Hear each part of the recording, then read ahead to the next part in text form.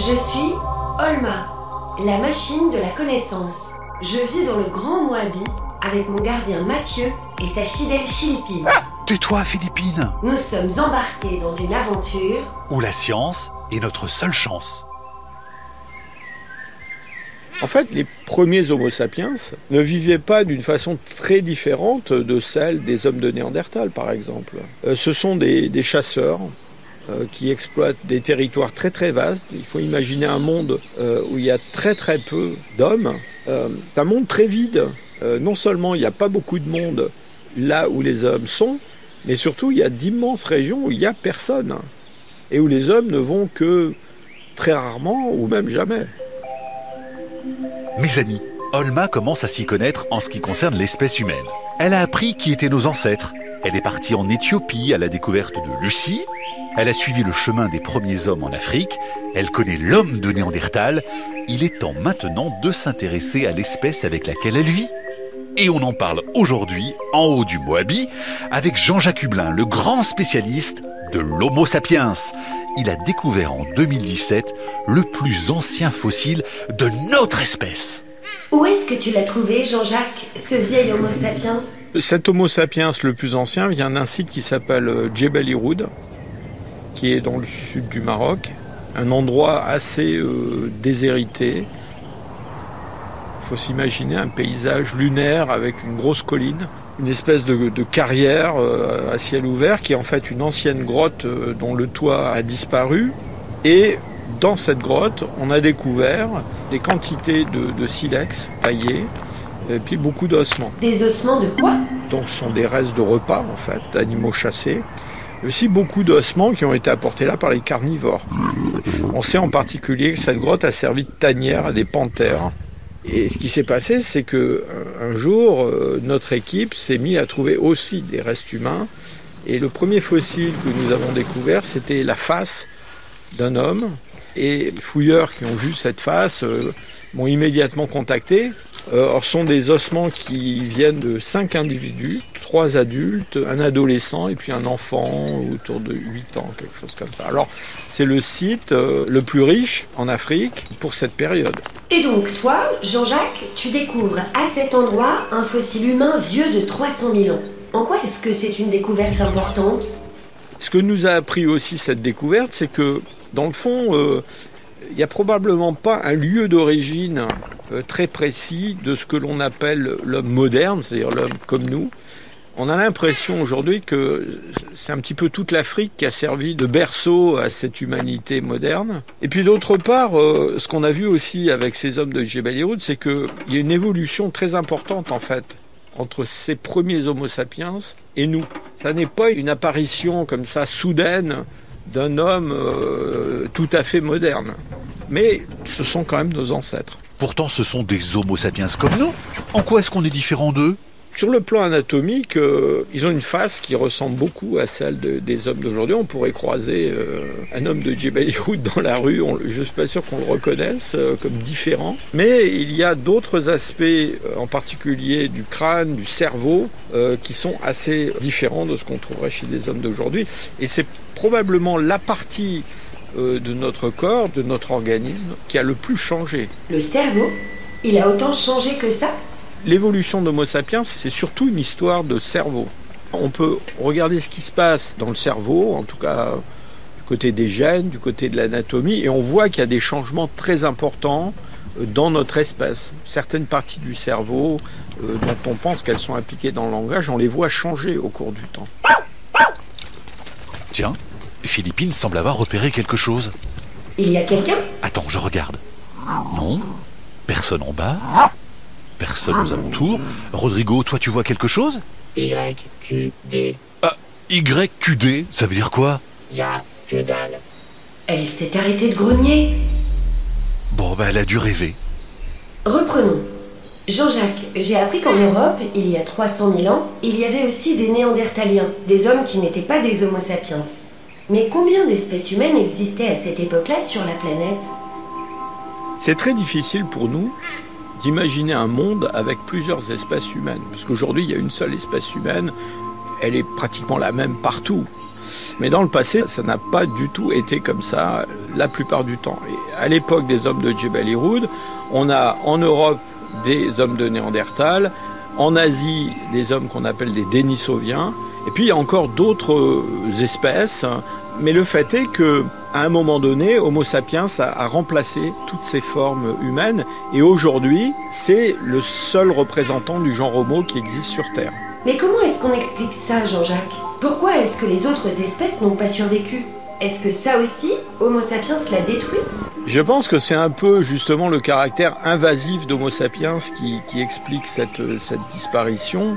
Pendant longtemps, il y a eu un partage de la planète en fonction de l'adaptation de ces différentes espèces plutôt à un climat tropical ou à un climat tempéré ou à la vie dans certaines îles. Mais ce qui s'est passé avec notre espèce, c'est qu'elle a eu tendance à coloniser des milieux qui n'étaient pas son milieu d'origine. Et ça, ça l'a mis directement en compétition avec euh, ces autres formes humaines. Dans cette compétition, à la fin, c'est toujours Homo sapiens qui a remplacé les autres, et jamais le contraire. Alors si la planète a été suffisamment grande pour plusieurs espèces humaines, est-ce qu'un jour on pourrait voir se développer de nouveaux hommes? Euh, L'espèce humaine actuelle, d'abord, c'est devenu une multitude extraordinaire. Elle couvre toutes les zones habitables de la planète et même celles qui ne sont pas très habitables. Et tous ces hommes, ils sont en contact. Et quand je dis en contact, ça veut dire que ben voilà, ils se croisent, ils se mélangent, ils se reproduisent.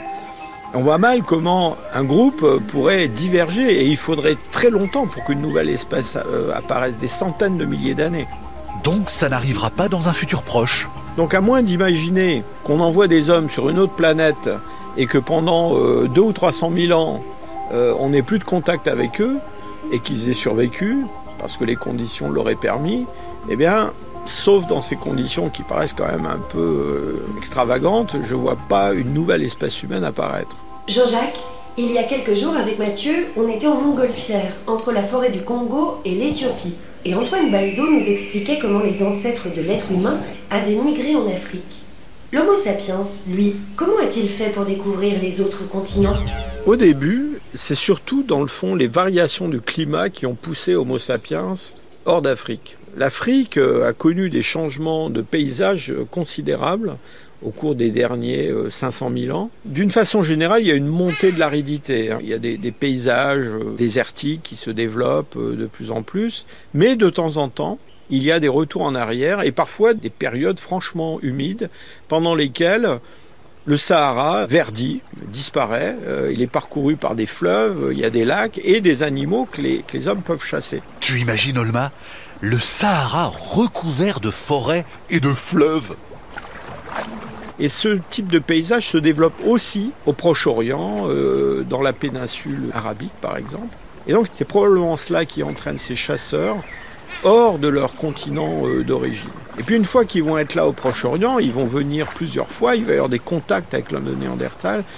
Une fois qu'ils vont être là, et bien là, euh, l'évolution euh, de ces groupes va s'accélérer. Et surtout, ils vont développer des technologies qui vont leur permettre d'aller vivre, lorsqu'ils le veulent, dans des zones tempérées, voire dans des zones froides.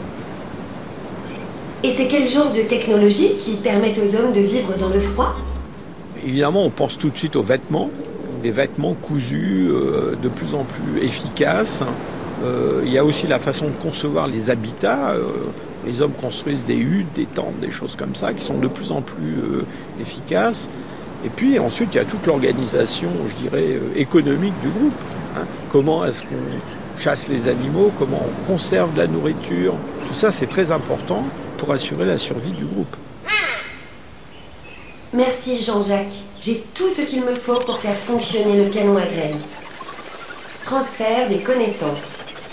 Conversion de l'énergie. Et... Et maintenant que tu sais comment on est arrivé des ancêtres de l'homme à Homo sapiens, je te propose, Olma, de nous intéresser aux hommes préhistoriques. Génial Là, il se passe quelque chose. Jean-Jacques, tu restes là, ça peut être dangereux. Rodrigo, est-ce que tu vois quelque chose? Oh, sapristi. Il y a une intrusion. Mais c'est qui? A encore l'autre cinglé avec sa tronçonneuse. Je vais tout défoncer Oh Mathieu Qu'est-ce qu'on va faire? Surtout, pas de panique, ok? Pas de panique. On va tous mourir Vous avez détruit mon usine Alors plus de pitié maintenant Dis donc Mathieu, elle a l'air très très énervée. Faites découper ce vieux tronc et en faire des allumettes Mais... Mais qu'est-ce que c'est que ça? Les chimpanzés Ils se jettent sur elle Mais, mais lâchez-moi, sale bête Mathieu, elle se réfugie. Dans la salle des graines On n'entend plus rien. Je ne souhaiterais pas cette femme mon pire ennemi. Rest in peace, Patricia. Mathieu, tu ne veux pas aller voir quand même? Oui, ok, ok. J'ose pas ouvrir. Allez. Mes chers amis, ce que nous avons devant nous est tout bonnement hallucinant. Je m'attendais en ouvrant la porte à trouver cette pauvre Patricia dévorée par les singes. Eh bien non, Patricia est allongée au milieu des graines, elle a lâché sa tronçonneuse, elle a un sourire jusqu'aux oreilles et tous les petits singes sont autour d'elle et lui font des caresses. Je ne savais pas qu'ils étaient aussi gentils Eh ben moi non plus. Si j'avais su, je n'aurais pas coupé tous ces arbres Ah bon? Mathieu, Olma, ce que je vais vous dire va peut-être vous surprendre, mais j'ai une révélation tout d'un coup et je veux vous aider. Nous aider? Olma est un podcast original de France Inter avec la Cité des sciences et de l'industrie.